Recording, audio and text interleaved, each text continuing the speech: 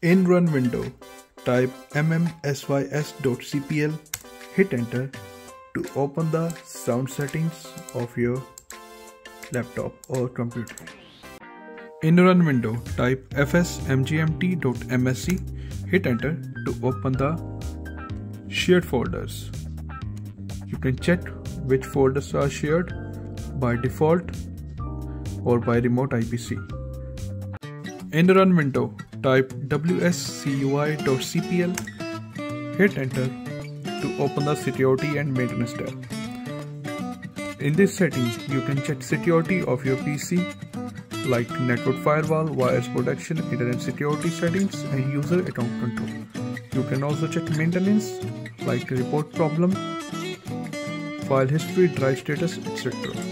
You can also perform a recovery if it's needed. In the run window, type control space sched tasks, hit enter to open the task scheduler.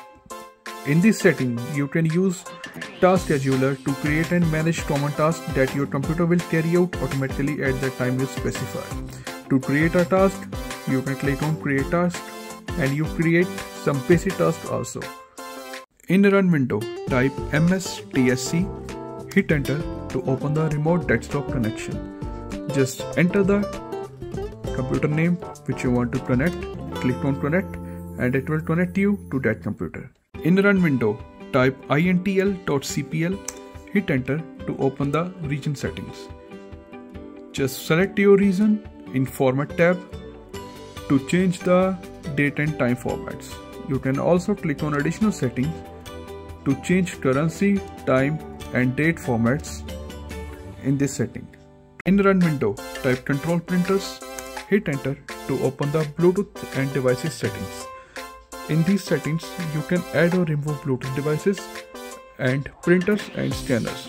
Just click here and click on add device to add or remove a printer. In run window, type telephone.cpl, hit enter to open the phone and modem settings. This is somehow like vintage type thing.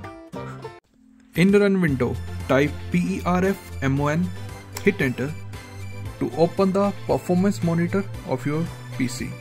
You can check your PC performance here and you have different tools to enhance and to check PC performance.